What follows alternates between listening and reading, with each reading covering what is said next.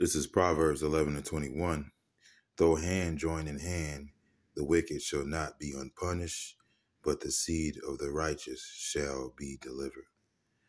First and foremost, I'd like to give all praises, honor, and glory to Yahweh, Bahasham, Yahweh Shai, Bahasham, Rakah Quadash. Double honors to the apostles and elders of Great Millstone. Salutation to you, Akim, pushing this word with truth, sincerity, with charity, presenting your body as a living sacrifice. We who are ready to live salute you.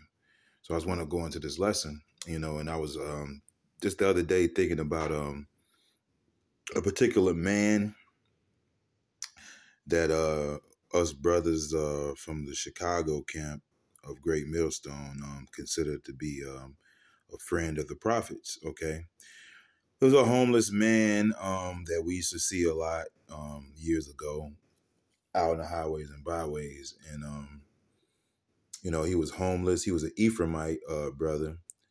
And uh, he always greeted the brothers with a smile. He showed mad, mad love to the brothers, man. You know, and we showed mad love to him. And he had so much love and respect for the brothers. I remember that um, we would always try to offer him money, and a lot of the times he would um, he would uh, refuse the money you know, and his way he was saying to us in so many, you know, in, in his own way, like, hey, y'all brothers being out here and you know doing what you're doing and just the spirit, you know, because you could you could really tell, you know, like if he was, you know, he was probably down. You know, we seen him certain times he was injured. You know, maybe somebody jumped him, robbed him. Who knows? You know, when you're out there like that, you know, all type of shit can happen to you. You know, you could tell the uh, the man was going through it and um, one thing you could tell is like when he saw the brothers, he just lit up. It's like his spirit uh, lit up, you know, and and and us seeing that in him, you know, it lit us up, man. It, it was, you know, you know, it, it brought, you know, we're comforting him, but shit, he didn't even know that, you know, in his own way, he was comforting us as well, you know. And uh, he was uh, one thing you know, I believe he was uh, ex-military, you know, and um, you know, here in Babylon the Great, you know, you, you, you know, as the scripture says. Matter of fact, let me get a, a scripture on that. Um, man. Oh. Okay, because here in Babylon the Great, man, they don't give a fuck about their vets, man. Right, and the Lord hates that. This is um Sirach 26 and, and 28. There be two things that grieve my heart, and the third maketh me angry a man of war that suffereth poverty, and men of understanding that are not set by, and one that returneth from righteousness to sin. Yahweh prepareth such an one for the sword. Okay. And um yeah, the Lord hates a man of war that suffereth poverty. You know, here it is, you I mean, even the scripture says, no greater love uh, have a man that he lay down his life for his friend. I mean, that's the most you can give anybody is your life, you know. So a man of war who put their life on the line, they're supposed to be rewarded, man. You know, but here it is, here in Babylon the Great, they don't give a fuck about their um their uh you know elderly, their their veterans. They just don't give a fuck, man. You know, which is another re- one of one of the infinite amount of reasons why Yahweh Shemi Shai is gonna smoke this place off the map, all right? Okay, and um, you know, I personally believe that he's in the spirit world right now. I could be wrong, you know, but um, you know, it was a be- he was a you know beautiful brother, and we could, like I said, we considered him a a friend of the prophets, and um, I really based this lesson off uh, a particular day that I saw him. Um, I believe I might have been on my way to camp, and um, you know, the man was just, uh, you know, he was walking down the street, but he just stopped, and he started yelling at the whole city. Started literally upbraiding the whole city. You know, he started cussing people out, and I remember him saying, "You gonna pay? You gonna pay?" Okay, you're going to pay. All right. And, you know, that's what Esau is running away from right now. That's why you have guys like Vocab, Heyman Malone, all right, trying to explain away our doctrine and all that because Esau does not want to fucking pay, man. All right, he doesn't want to pay, man. All right, a matter of fact, let me get another scripture on that. All right, this is Jeremiah 49 and 12. For thus saith Yahweh, Behold, they whose judgment was not to drink of the cup have assuredly drunken. And art thou he that shall altogether go unpunished? Thou shalt not go unpunished, but thou shalt surely drink of it, right? So yeah, man, you know, just that thought, you know, really inspired that lesson. This lesson, you know, I was thinking about, you know, that particular day when I saw him downtown. He was basically in his own way that that particular day in his own way, low key, you know, prophesying, man. He, he was saying, man, you, you know, his spirit was sore vexed, man. You know, you people are gonna pay, man. You proud ass people, you know, who who walk past the poor, man, or who grind the face of the poor, man. Because here in this place, man, you know, that that's the mindset. You know, these people don't give a damn about the poor. They're, they're poor, they're elderly, they're young. All right, this place is just um, it devours men. All right, this place devours uh, souls, man. That's why it's such a um, you know it's such um, a miracle us standing on our feet, you know, you know, uh, um, and um, prophesying against Esau Edom, man, because you're gonna pay, man. You're gonna pay. All right, the wicked of our people are gonna pay. The heathen is gonna pay. Everybody's gonna pay, man. You know, we're just hoping that you know we can get that white stone, which is that exempt, exemption uh, from judgment, man. All right, you know, we're trying to cash in on um, the sacrifice that Yahweh Shah made, pretty much. You know, by believing in that sacrifice. You know, all right, and uh, you know, to the best of our ability, you know, walking accordingly, man. But the uh, the wicked shall not go unpunished, man. All right, you're not gonna get away with what you did. All right, matter of fact, me, you know, this is Sirach 16 and 11. Hey, because the Lord even lay into our ass, man. You know, just because we in this truth don't mean that, listen, man, the scripture says all his ways are judgment, man. The Lord is all about judgment, you know, showing you that this world is totally against you. How Yahweh Bashim Shai, you know, because they shame uh judgment here, you know. All right. But this is Sirach 16 and 11. And if there be one stiff neck among the people, it is a marvel if he escape unpunished. And we, us and brothers in this truth, we understand that, man. Because, you know, the Lord, even, you know, just because we do this work, you know, we still get hit in our shit, you know. For mercy and wrath are with him. He is mighty to forgive and to pour out displeasure. So we understand, you know, that Yahweh Shai is all about judgment man. okay? In a place that's totally void of judgment, you know, okay? But it's a marvel if a stiff, if, if he that is stiff necked, uh, uh, you know, would, would, would escape, man, you know? Because really, it's not going to happen. Nobody gets away with nothing. You know, we don't get away with nothing. Nobody gets away with nothing, man. All right. Even King David didn't get away with uh you know, with what he did, and and he was the, you know, he's the Lord's uh uh he's the head of the church, man. He was Peter, man. You know, he's beloved. The uh, uh you know, he's he's the beloved, and even the Lord uh punished him, man. So art thou he that shall altogether, you know, go unpunished, man? All right. You know, because what we're seeing is Esau. He's he is that you know just like Cain. He's a fugitive, man. He's a fugitive uh, from justice, man. I'm thinking about that song um, from the Pharcyde. Can't keep running away. you know, can't keep running away, man. You know, even when as a child, you know, I remember the term Judgment Day.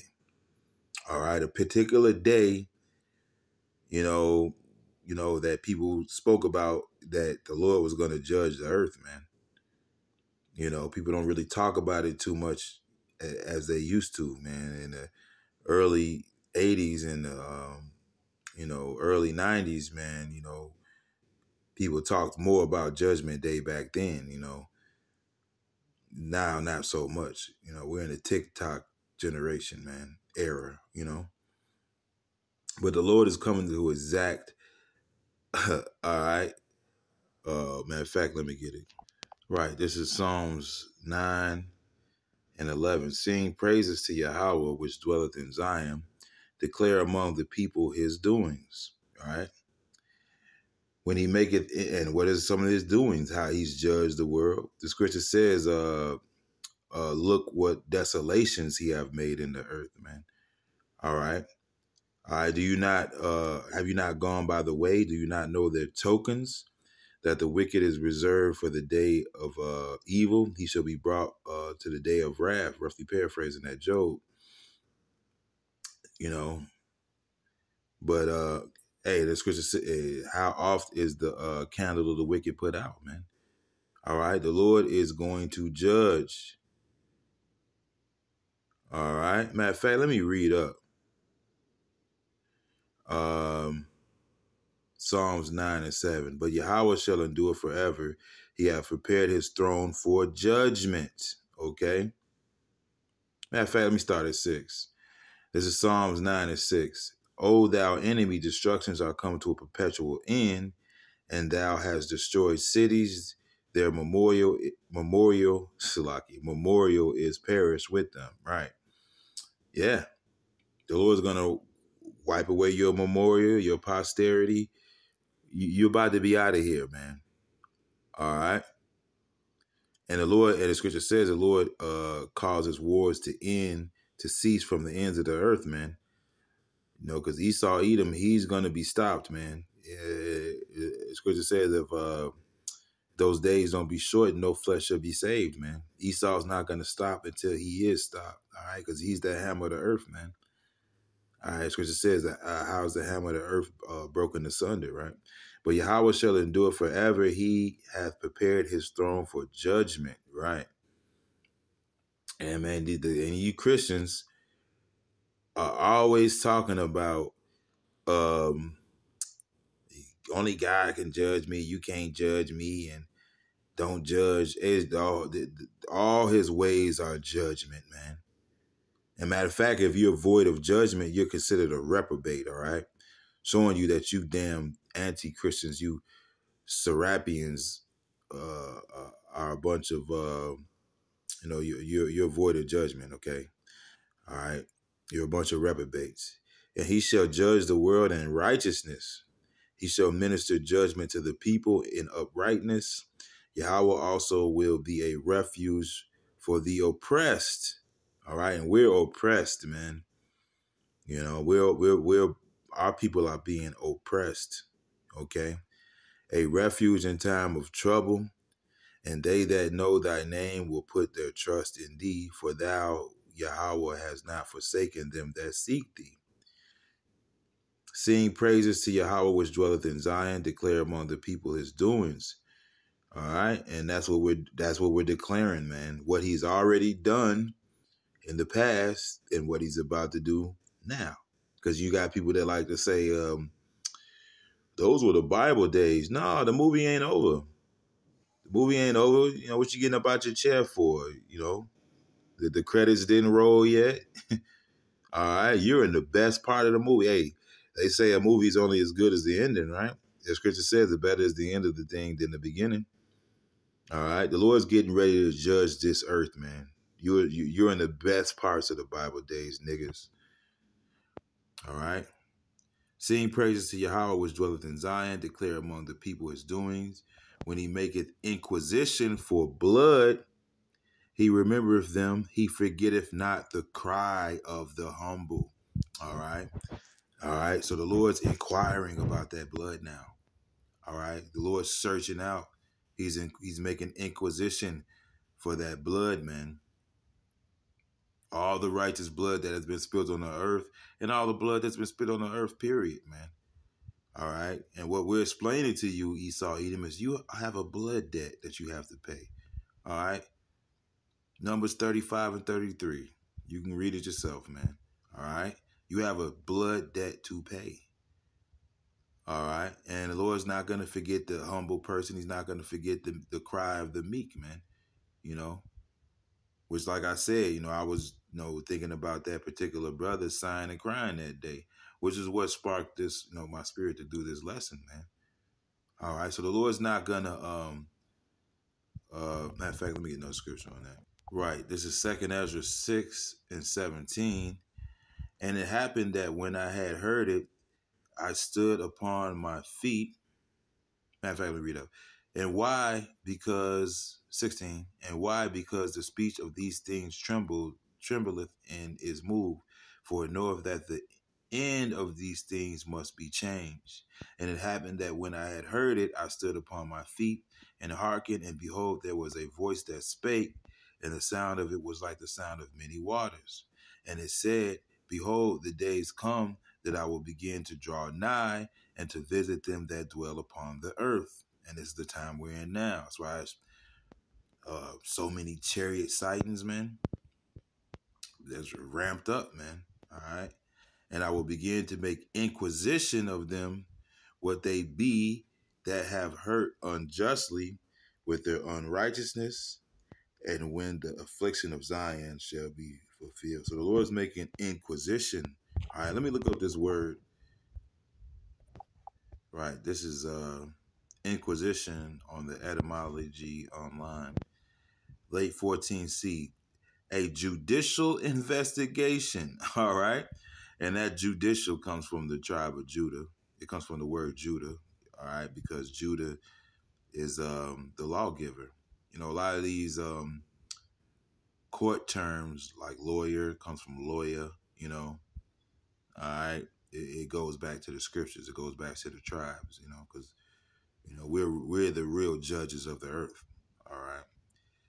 Act or process of inquiring from old French Inquisition, inquiry, investigation. All right. So the Lord's making an inquiry, He's making an investigation of the crimes that have been committed here on our earth. All right, modern, modern French Inquisition from Latin Inquisitionem, um, nominative inquisitio, inquisitio, a searching into, a searching into, right? And uh, that's why it says in Lamentations 4, um, that, that the Lord will discover thy sins, uh, Edom, all right? A seeking, all right? And the Lord seeking you out. Scripture says, How are the things of Esau searched out? How is his hidden things sought up, man? All right, the Lord, and his Lord's about to make you bare. He's making you bare now. All right, scripture says, search out, search out his iniquity till there be found none. All right. So at the end of the day, every, see, even with all the things we know through social media and with the spirit dealing with us, there's still so much crimes and bloody crimes that we're not gonna know until the Lord returns. All right, until we get that download, and I could just see, man. you know, the Lord, Lord's gonna put His spirit on His men, man, to really, really get angry, man, and, and deal with you, you, you, you Edomites, man. Legal examination. All right, that's what's happening to you right now. And what the scripture says, Savior shall come up on Mount Zion to judge the Mount of Esau, and the kingdom shall be the Lord. See, right now we're just the officers that are, uh, uh, we're pretty much reading you your rights, or we're like ambassadors, right? We're we're we're we're we're offering, we're not offering nothing. We're giving you the terms of your surrender. All right. We're not negotiating with you. All right. We're ambassadors of Yahweh Shemi Shah. We're ambassadors of the heavens. We're giving you your terms of surrender, man. All right. And what's this fucker to do? He's to try to kill the messenger. Which, when you do that, when the kingdom, when the king sends a messenger and you kill that messenger, that is an act of war. Now that army is about to fall upon you. And that's exactly what's going to happen to your ass a seeking of grounds of accusation, Okay, because we're that we're, the northern and southern kingdom uh, are those witnesses, man, and we have a testimony against you. Noun of action from past participle stem inquiry, inquiry, in church history, inquisitor were appointed from 382 CE, the root of heretics. Ecclesiastical court by announcement, suppress heresy. Uh, and that's about it. That, that's the point, man. The point is the Lord's seeking you out. He's searching you out, and He's searching out your iniquities, man. All right, He's about to bring you uh into judgment, man. All right, and you gonna pay, man. You know, you are going to pay. You know, vocab, you can't run from it. Esau, you cannot run from it. That that tab is still on the table, man. All right, you done you done stuffed your belly in a restaurant. You done uh, reached over to other people's plates, went to their table, smacked their wife, and took their chicken wings off their plate, man. And now the whole restaurant is about to stomp you to death, man. You know, and put you in the back and make you do dishes, man. You know.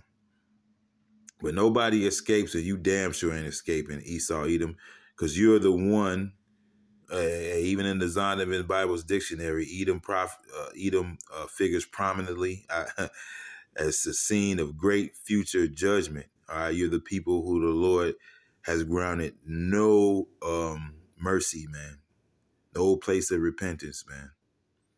So you're through. All right. But yeah, a little lesson I wanted to do. Hope there's some edification within it. And uh Shalom, Kwame Yasharala, and the Bible Ball.